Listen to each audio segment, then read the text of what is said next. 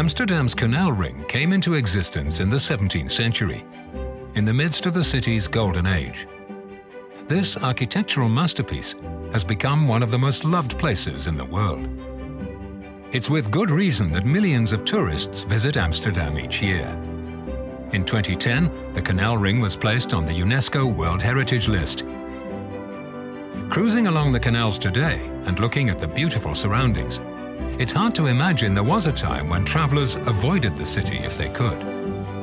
At the beginning of the 19th century, the smell from the canals made city life very unpleasant. Amsterdam had failed to hold on to the prosperity of the Golden Age. It was in this period that Gerard Heineken was born on the Singel Canal. He was not only destined to make world-famous beer, but also to herald in a new golden age for his city of Amsterdam. Gerard Heineken bought his first brewery, the Hooiberg, or Haystack, in 1864. It was situated near the dam and the new church, where Hotel de Port van Cleve stands today. Heineken quickly realized that the brewery was far too small, and a year after opening, he bought land on the edge of the city on what is now the Stadhouderskade. Here, he built a large modern brewery. The Pilsener, or lager beer he brewed, was also new. Delicious, clean Heineken beer, with a light taste and a nice frothy head.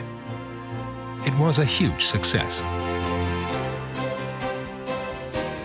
During the 1880s, as a result of the entrepreneurship of Gerard Heineken and his generation, and their constant drive to innovate and improve quality, Amsterdam experienced a new golden age.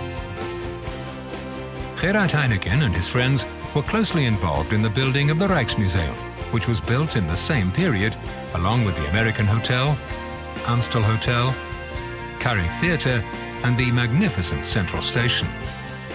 Unfortunately, Gerard Heineken didn't get to enjoy the rebirth of his beloved city for long. He died in 1893, just 51 years old. His widow, Mary Tindal, had a new brewery constructed in 1913. It's the oldest part of the present-day complex on the Stadhouderskade. Designed by Rotterdam architect Arie Hedrick, it's a robust but decorative building in the Art Nouveau style of the time, complete with stained glass windows. The building now forms the heart of the Heineken experience. Here you can learn all about the 150-year history of Heineken.